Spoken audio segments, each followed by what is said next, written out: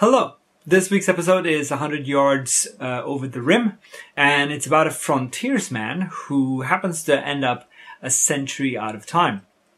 Uh, it's one of those time travel episodes. There are a few of those in uh, Twilight Zone, and we've seen some already, and we're going to see more of them. Uh, and this one is, I mean, it's it's a fairly it's a fairly cheap pr- uh, premise to make. You need a few wagons and, and some costumes and stuff like that, but then all you need is a set a contemporary set for a cafe and then you need an outdoor location and voila, right? So it's, it's very simple to shoot a very effective little story.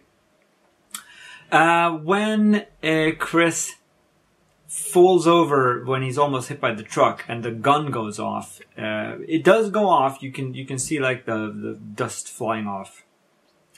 Uh, the sound is very muted and he doesn't sell that he's just been shot like in the arm uh, he, just goes about his business. So you wouldn't actually think that he that the shot even went off.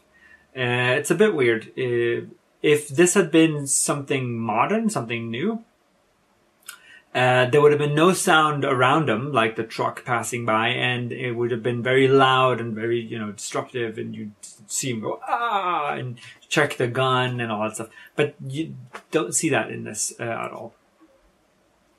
Uh, when he goes up to the jukebox, there's a reflection uh, in in the glass, and it. I'm not sure if it's plate shot or not. It looks very warped, but there's also a, reflection in the chrome, so it's weird. Um, it it looks very odd anyway. Uh, so the he brings back uh, penicillin to his boy to treat his, his pneumonia. And we know he's going to make it because that's in the, the encyclopedia. That's a causality loop, right? He causes something to happen which causes itself to happen. Um, it's, it's, you shouldn't do that. Don't do that. It's, it's bad time travel etiquette.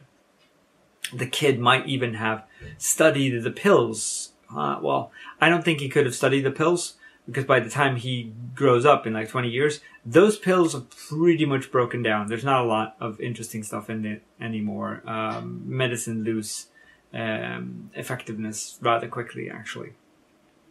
The uh, wonderful hat he's wearing, the, the stovepipe, uh, was actually the actor's idea. Uh, I read uh, somewhere, and uh, uh, he just thought he'd look more uh, rugged and uh, and out of time when when he was wearing that rather than something else. And it makes sense. I mean, you you can't go around without a hat. That's what McFly says. Uh, the next episode is the Rip Van Winkle caper. And there's no outro in this episode, so we don't have an introduction for it. But I will see you next week, and uh, we'll talk about it. Take care, everyone.